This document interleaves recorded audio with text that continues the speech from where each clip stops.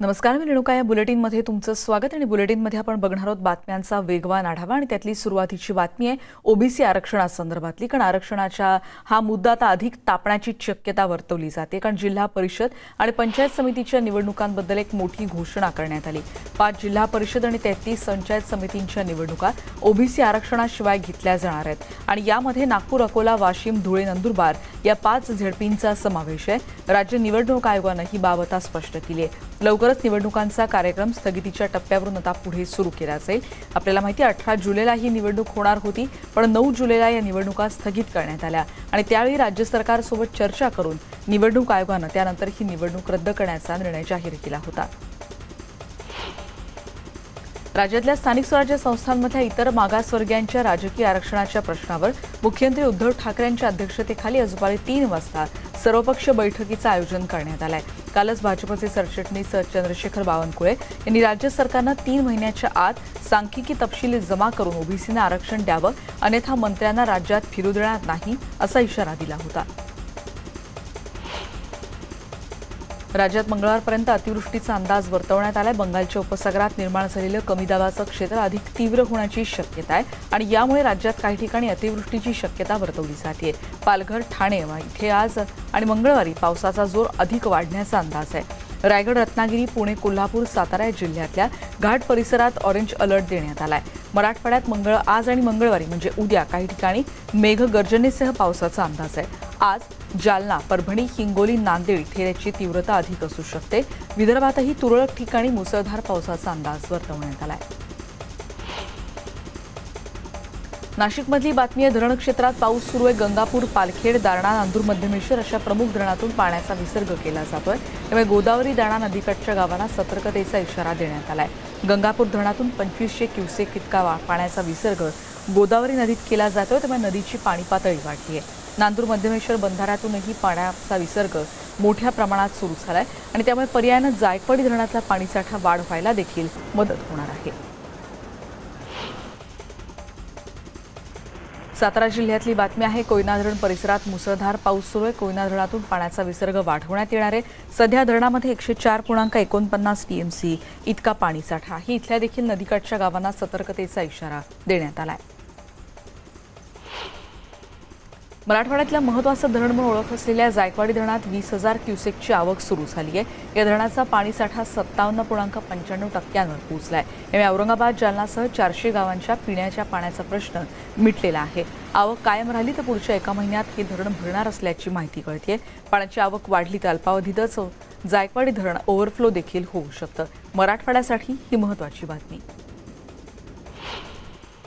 पुण्यातल्या खडकवासला साखरी धरण आता ओव्हरफ्लो झालाय. चारही धरणं शंभर टक्के भरली आहेत. या धरणातून सहा हजार आठशे क्युसेकनं पाण्याचा विसर्ग सुरू आहे. आवश्यकतेनुसार विसर्ग वाढला तर नदीकाठच्या रहिवाशांनी सतर्क राहण्याचं आवाहन प्रशासनाकडून केलं जात आहे.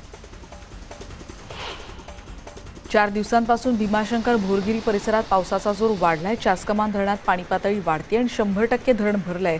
त्यामुळे दरवाजे आज पाचही उघडण्यात आलेत. धरणातून सत्तावीसशे क्युसेक वेगानं भीमा नदी पात्रात पाणी विसर्ग केला जातोय. भीमा नदीकाठच्या नागरिकांनाही धोक्याचा इशारा देण्यात आलाय. खेड शिरूर तालुक्याला शेती आणि पिण्याच्या पाण्याचं वरदान म्हणून हे धरण आता पाहिलं जातं. आता ते ओव्हरफ्लो झालंय. त्यामुळे शेती आणि पिण्याच्या पाण्याचा प्रश्न मिटणार असल्यामुळे शेतकरी वर्गात आनंदाचं वातावरण आहे. पालघरमधली बातमी आपण बघतोय. पालघर जिल्ह्यात बारा तासांपासून मुसळधार पाऊस सुरू आहे. पालघर जिल्ह्यात सूर्या नदीवरचं प्रमुख धामणी धरण शंभर टक्के भरलंय. कवडास उन्नाई धरणही शंभर टक्के भरलंय. तारापूर एमआयडीसी बोईसर त्याचबरोबर वसई विरारला इथून पाणी पुरवठा केला जातो. सूर्या नदीवरचं धामणी धरण आणि कवडास उन्नाई बंधारा शंभर टक्के भरलाय. सूर्या नदीमध्ये सहा हजार पाचशे एकोणपन्नास क्युसेक पाण्याचा विसर्ग सुरू होता. धामणी धरणाचे पाच दरवाजे आता पस्तीस सेंटीमीटरपर्यंत उघडण्यात आलेत. हा विसर्ग बारा हजार पाचशे क्युसेक वेगानं केला जाऊ शकतो असं कळत आहे नदीपात्रातली पाण्याची पातळी वाढल्यानं नदीकाठच्या गावांना सतर्कतेचा इशारा देण्यात आला रत्नागिरी जिल्ह्यातही पावसानं तुफान बॅटिंग केलेली दापोलीमधली ही दृश्य सध्या आपण बघतो इथे देखील पावसानं चांगलं झोडपून काढलंय. भिवंडी शहर आणि ग्रामीण भागातही सकाळपासून जोरदार पाऊस सुरू आहे. ग्रामीण भागात सखल भागात पाणी साचते आणि त्याच्यामुळे भिवंडी वाडा रोड या परिसरात अंबाडा अंबाडी परिसरातल्या या सगळ्या रस्त्यावर आता तळ्याचं स्वरूप आलेलं दिसतंय. वाहन चालकांची मात्र यामुळे तारांबळ उडतीये. मनमाड मालेगाव येवला सटाणा नांदगावसह नाशिकच्या ग्रामीण भागात आठ सप्टेंबरला दोन दिवस आठ सप्टेंबरपासून दोन दिवस पुढे पाऊस झाला होता. नांदगाव शहर परिसरासोबत संपूर्ण तालुक्यात अतिवृष्टीमुळे हाहाकार माजला होता. ढगफुटीसारखा पाऊस इथे झाला. त्यामुळे नांदगावच्या लेंडी आणि शाखंबरी या दोन प्रमुख नद्या आणि त्याचबरोबर तालुक्यातले सगळेच नदी नाले आणि ओढ्यांना देखील पूर आला होता.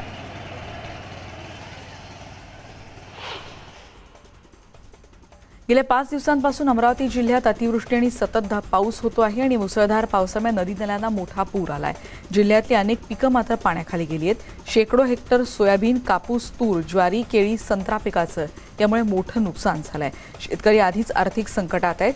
जिल्ह्यात झालेल्या अतिवृष्टीमुळे चौदापैकी सहा तालुक्यातल्या शेतकऱ्यांना याचा फटका बसला आहे जिल्ह्याच्या पालकमंत्री यशोमती ठाकूर आणि माजी आमदार वीरेंद्र जगताप यांनी नुकसानग्रस्त भागाची पाहणी करून तातडीनं इथलं सर्वेक्षण करण्याचे आदेश जिल्हा प्रशासनाला दिले आहेत.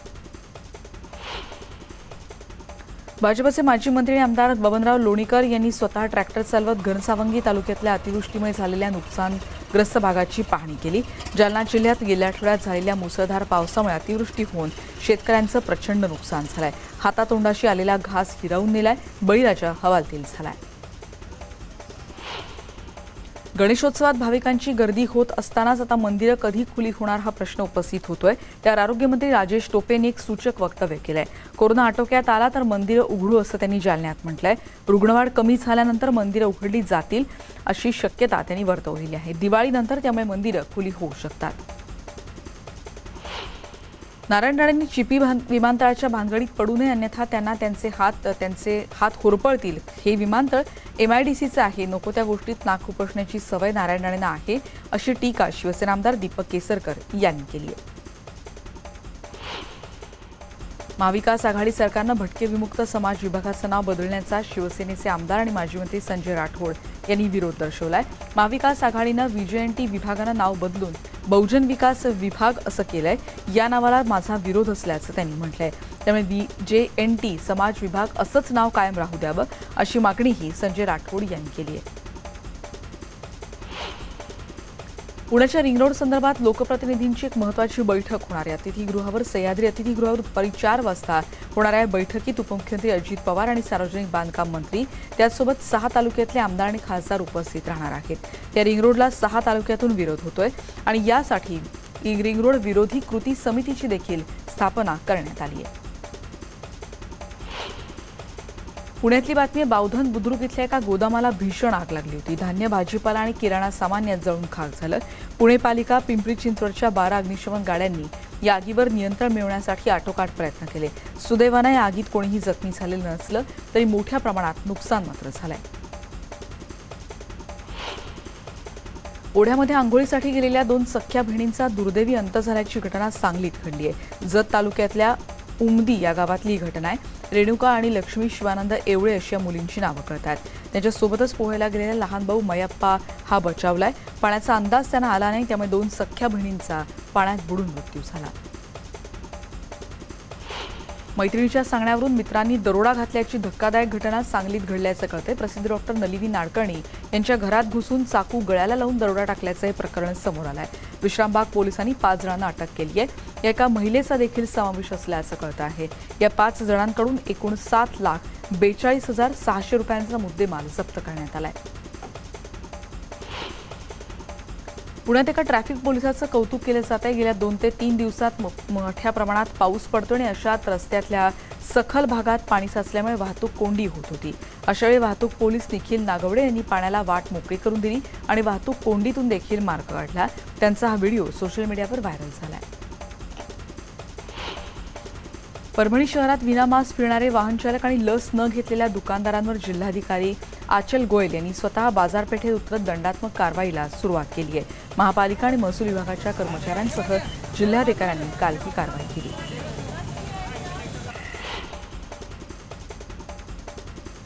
कोरोना लसीकरणात भारत देश दररोज नवनवीन विक्रम करत आहे देशात रविवारी कोरोना लसीकरणाचा आकडा चौऱ्याहत्तर कोटीपर्यंत पोहोचलाय. देशातल्या सहा राज्यात अठरा वर्षांवरच्या संपूर्ण लोकसंख्येला कोरोना लसीचा पहिला डोस मिळालेला आहे. आणि यामध्ये गोवा हिमाचल प्रदेश लडाख सिक्कीम लक्षद्वीप दादरा नगर हवेली आणि दमणदीव यांचा देखील समावेश आहे. देशात सध्या अठरा वर्षांवरच्या नागरिकांचं लसीकरण सुरू आहे. दुसरीकडे लहान मुलावरच्या लहान मुलांसाठी जी लस वापरली जाणार आहे त्याला ट्रायलला परवानगी देण्यात आलेली आहे. देशात गेल्या चोवीस तासात सत्तावीस हजार नव्या कोरोनाबाधितांची नोंद झाली आहे. सदतीस हजारपेक्षा जास्त रुग्णांनी कोरोनावर मात केली. राज्यात दिवसभरात तीन हजार सहाशे तेवीस नवीन कोरोनाबाधितांची नोंद झाली आहे. दोन हजार नऊशे बहात्तर रुग्णांनी कोरोनावर मात केली आहे. या व्यतिरिक्त सेहेचाळीस कोरोनाबाधित रुग्णांचा मात्र मृत्यू होणार आहे. पुण्यामध्ये दिवसभरात एकशे शहाण्णव पॉझिटिव्ह रुग्णांची वाढ झाली आहे. दिवसभरात दोनशे अठरा रुग्णांना डिस्चार्जही मिळालेला आहे. पुण्यात कोरोनाबाधित पाच रुग्णांचा मृत्यू झाला आहे पुण्याबाहेरच्या एका रुग्णाचा यात समावेश आहे. गणेशोत्सवासाठी जिल्ह्यातून जिल्ह्याबाहेरून आलेले तब्बल एक लाख नऊशे सोळा चाकरमानी रत्नागिरीत दाखल झालेत. आणि यामध्ये ज्यांच्यात कोरोना सदृश लक्षणं दिसणाऱ्यांची चर्च चाचणी देखील केली जाते. आठ हजार आठशे साठ जणांची चाचणी करण्यात आली आणि त्यामध्ये सदतीस जण पॉझिटिव्ह आढळले आहेत. हे सर्वजण गुहागर तालुक्यात असल्याचं असल्याचे जिल्हा आरोग्य अधिकारी डॉक्टर अनिरुद्ध आठले यांनी स्पष्ट केलं आहे कोळीबांधांच्या घरी गौरीला मोठ्या उत्साहात काल आणण्यात आलं. काय या सगळ्या भागामध्ये मोठी प्रथा आहे जिथे गणेशासोबतच म्हणजे गणपती बाप्पासोबत गौरी सणाला देखील मोठं महत्त्व आहे. माहेरवाशीन गौरीची मोठ्या भक्तिभावानं पूजा अर्चा केली जाते. कोकणातल्या गौरी पारंपरिक गाणी म्हणत गौराईचं आगमन तिथे करण्यात आलंय. वस्त्रालंकार आणि आभूषणांनी त्या सजलेल्या आहेत. अनेक घरात यावेळी गोड नैवेद्य केला जातो. कोकणातल्या अनेक भागात गौरीला आज तिकटा म्हणजे मांसाहाराचं देखील नैवेद्य दाखवतात. कोकणात गौरी आगमनाच्या दुसऱ्या दिवशी अनेक घरात हा तिकटाटन तिकटा सण साजरा केला जातो. गौरी गणपतीचा उत्सव यवतमाळ जिल्ह्यातही मोठ्या उत्साहात साजरा होतोय. रायगड इथे प्राध्यापक अविनाश फाळके यांच्या कुटुंबात दीडशे वर्षांपासून अशा रीतीनं गौरी पूजन केलं जात आहे वाशिममधली बातमी आपण बघतोय. सोयाबीनच्या बाजारभावानं गाठलेला विक्रमी पल्ला आणि त्याच्यामुळे पश्चिम विदर्भातल्या शेतकऱ्यांकरता हा सुखद धक्का होता पण सोयाबीनचे बाजारभाव कायम राहावेत याकरता वाशिम जिल्ह्यातल्या कामरगाव इथल्या शेतकऱ्यांना सोयाबीनच्या सत्याहत्तर हजार दाण्यांपासून हा बाप्पा साकारला सोलापुरातील गणेश भक्त सौरभ भांड यांच्या घरातील गणपती समोरचा देखावा सध्या विशेष चर्चेत आहे. सौरभ भांड यांनी शरद पवार यांच्या साताऱ्यातल्या भर पावसात केलेल्या भाषणाचा देखावा गणपती बाप्पा समोर साकारलाय. सोलापुरातील गणेश भक्त इथे त्यासाठी गर्दी करताना दिसतात देखाव्यात प्रत्यक्ष पाऊस पडतो आणि ज्याच्यामध्ये शरद पवार भाषण देतानाची प्रतिमा यामागे साकारण्यात आलेली आहे. पुण्यात श्रीमंत दगडूशेठ हलवाई गणपतीला एका गणेश भक्तांना दहा किलो सोन्याचा मुकुट अर्पण केलाय. मुकुटावर विविध प्रकारचे पाचू लावण्यात आलेत. रेखीव नक्षीकाम देखील यात करण्यात आलंय. गणेशोत्सवाच्या पहिल्या दिवशी गणपतीला मुकुट घालण्यात आला. गणपतीला अर्पण केलेल्या दहा किलो वजनाच्या सोन्याच्या मुकुटाची किंमत सुमारे पाच कोटी इतकी आहे.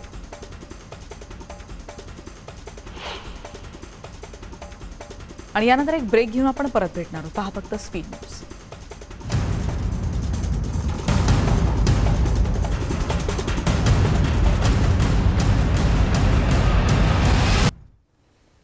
आणि ब्रेकनंतर पुन्हा एकदा आपण बघणार आहोत बातम्यांचा वेगवान आढावा आणि त्यातली सुरुवातीची बातमी आहे. कोरोनाच्या तिसऱ्या लाटेचा संभाव्य धोका लक्षात घेता काही जणांचा काहींनी जी माहिती दिली आहे त्यानुसार मुंबईत रक्ताचा प्रचंड तुटवडा जाणवतो आहे आणि रक्तदान करणाऱ्यांची संख्या कमी झाली आणि त्यामुळे हा तुटवडा जाणवत असल्याची माहिती समोर येते.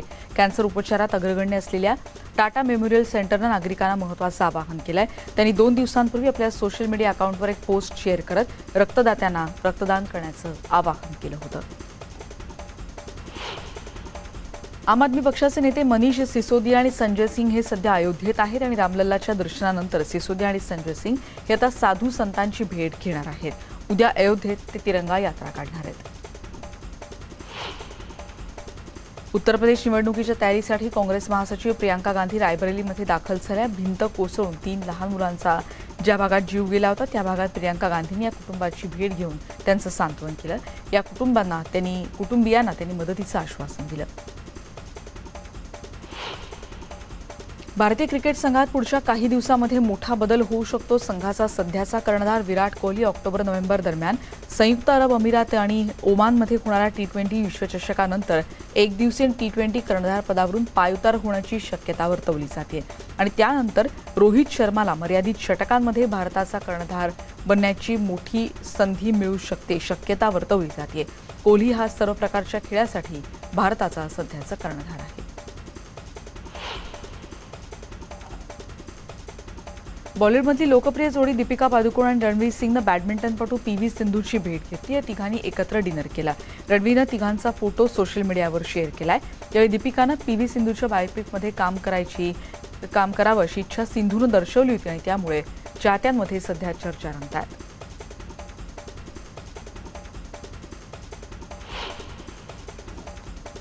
या सगळ्या बातम्यांचा वेगवान आढावा घेतल्यानंतर आता आपण बघणार आहोत आत्ताच्या टॉप थ्री न्यूज कोणकोणत्या आहेत. ओबीसी आरक्षणाशिवाय पाच जिल्हा परिषदा आणि तेहतीस पंचायत समित्यांच्या निवडणुका घेतल्या जाणार. राज्य निवडणूक आयोगानं केलं स्पष्ट. त्यामुळे ओबीसी आरक्षणाचा मुद्दा पुन्हा पेटण्याची शक्यता.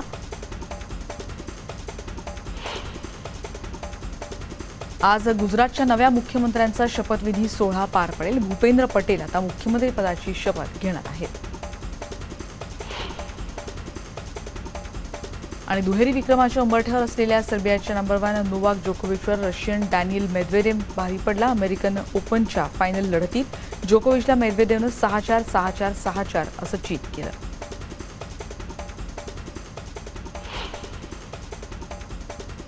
या सगळ्या बातम्यांचा आढावा घेतल्यानंतर या बुलेटिनमध्ये आता आपण इथेच थांबतोय. पहा फक्त न्यूज एटीन लोकमत.